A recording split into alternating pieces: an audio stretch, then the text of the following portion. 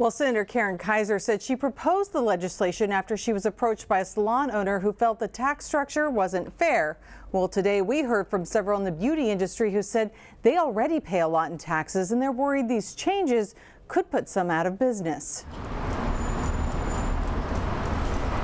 This Queen Anne salon would normally be closed on a Sunday afternoon, but step inside today and you wouldn't get a cut in color. A booth renter will have me as an owner taking all the income and then 1099 them and pay them through the 1099. Instead, it was talk of business, taxes, and strategy. As a result of that situation, you're getting. I would have to pay the B&O tax on a, on a, on a booth renter. Salon owners, stylists, and supporters gathered to prepare for Monday's hearing about a bill that could impact the tax structure for stylists who choose to be independent. And that we're we're barely covering our overhead.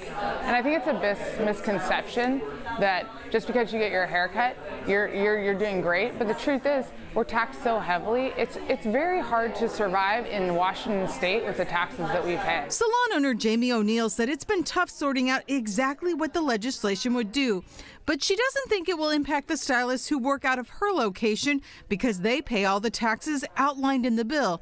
Still, she's concerned it could hurt other small businesses. The hair industry is probably the leading female dominated industry and it's our chance to sort of become financially independent and I feel like this bill is taking that away from us. Senator Karen Keiser proposed the bill and said they're not trying to ruin anyone's livelihood. Any stylist that's playing by the rules and paying their taxes and maintaining their licenses will have no impact. She said the legislation is part of a look into the industry and not a final decision. There are um, underground economies in several industries, and we understand that and we're working with that. Stylists worry it would force some people back into jobs at corporate salons where they take home only a small percentage of what is charged for their work. I've worked in chain salons before. They do serve a purpose. It's great for some people, but um, when my